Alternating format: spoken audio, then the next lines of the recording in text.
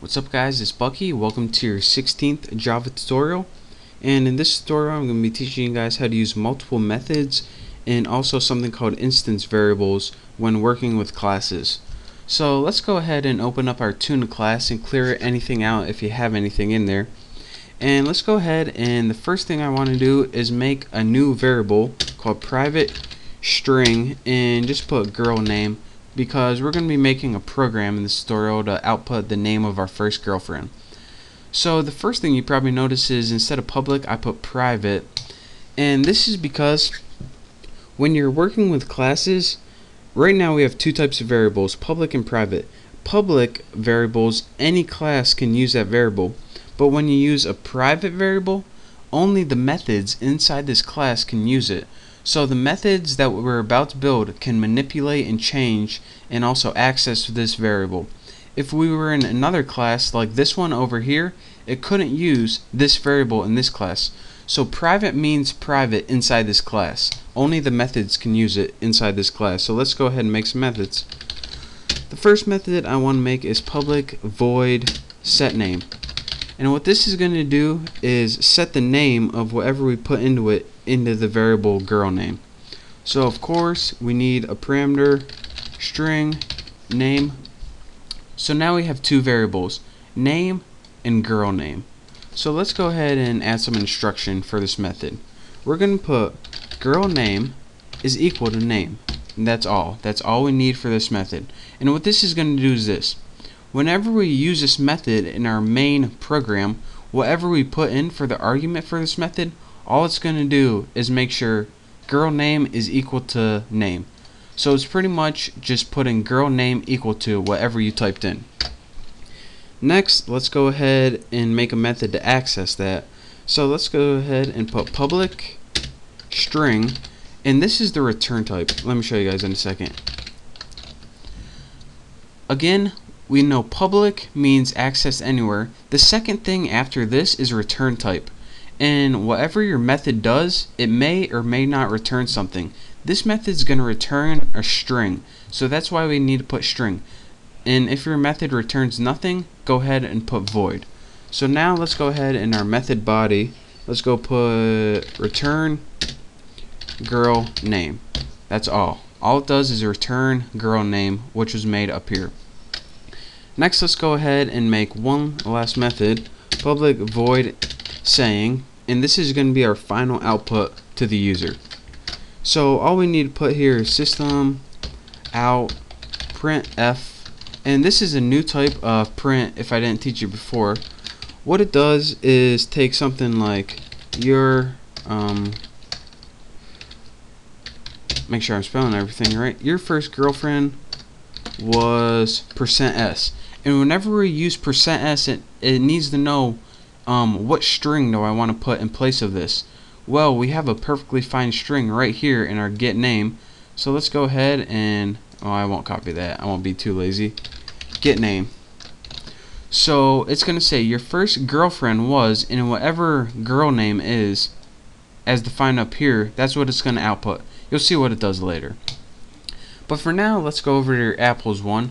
Make sure you import your scanner and make a tuna object so we can access that class. And now let's go ahead and just put a basic prompt on the screen so we can tell the user what to do. System out print line and what were we gonna print? Uh, just print print something like enter name of first girlfriend here just any prompt will do just uh, so we're not lost so the user actually knows what to do and after that go ahead and we need to make a temporary variable so we need to put string temp you can name yours whatever you want I just name my temp for fun input and this is where we use our scanner variable next line with empty parameters and again whatever the user types in as their answer it's going to be stored in the variable temp so that's what this line does. This is just a prompt. This takes whatever they enter and stores it in the variable temp right there. Next, we need to do something with this. So let's go ahead and use our tuna object and we need that to access set name and of course the parameters for this is going to be that temporary variable temp so what it's going to do is take the name that they entered and set it equal to girl name right here. It's going to take it, which is name, set it equal to girl name. Now we need to do one last thing. Now that we got that name equal to girl name, all we need to do is do tuna object dot saying with empty parameters. And what this does is use the tuna object saying. What is this, you may ask? The saying just outputs on the screen um, your first girlfriend was, and it's going to be whatever they typed in for the name.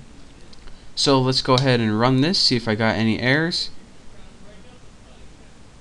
And I don't, so let's go ahead and enter the name of your first girlfriend.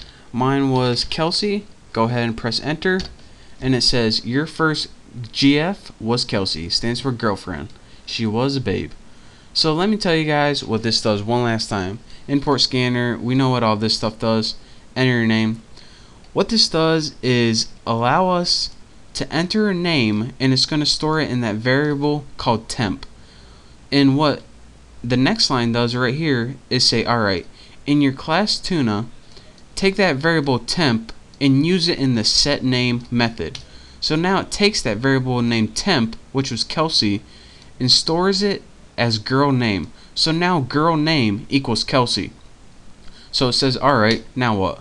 Well, next I want you to just use the saying method in the class tuna. So it says, alright, we know that girl name is equal to Kelsey now.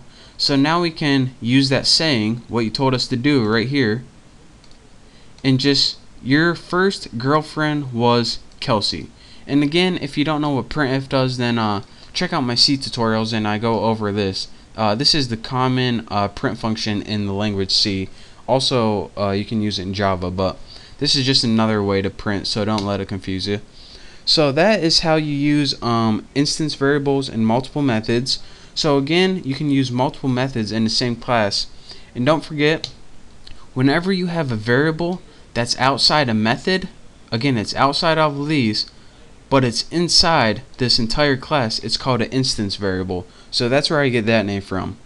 So um, I hope you enjoyed watching this tutorial. I hope you understand at least a little bit of it.